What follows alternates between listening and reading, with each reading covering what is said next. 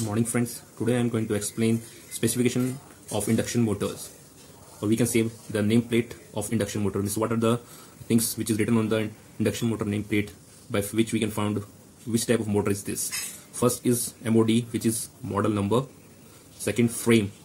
The external physical dimension as per NEMA. And then you ask what is NEMA? NEMA is National Electrical Manufacturing Association which defines some external physical dimensions uh, which type of frame it is, it is written over there? Then pole means number of poles in the motor serial number. Every motor has its, unique serial numbers. Then duty cycle. Duty cycle means motor load condition whether it is in continuous load short time or minimum load etc star connected or delta connected voltage which is supply voltage. Then it's come to insulation class. Which type of insulation class it is? It defines the specific maximum limit of the motor winding temperature. As we know that insulation class is defined as per the temperature.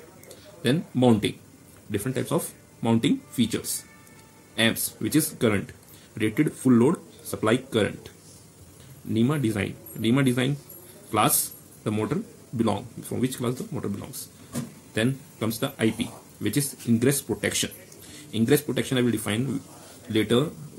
In short, we can say that in short, ensure that the dust moisture, water, etc. not allowed to enter the motor. The next is HP, means how much HP rated motor or shaft output. Service factor, factor by which the motor can be overloaded belonging belong to belong the full load means how much it will load. LRA, which is locked rotor amp. RPM, rated full load speed of the motor, round per minute. What is the rotating speed? Efficiency motor operating efficiency. Lock rotor time what is lock rotor time? The time for which motor can be continuous to draw LRA without getting damage. Means without getting damage how much lock rotor ampere it will continue to draw? Then hertz rated supply frequency ph which is number of stator phase of the motor. Enclosure different type of enclosure there. Odp tfd tnv or ep it i told you ip which is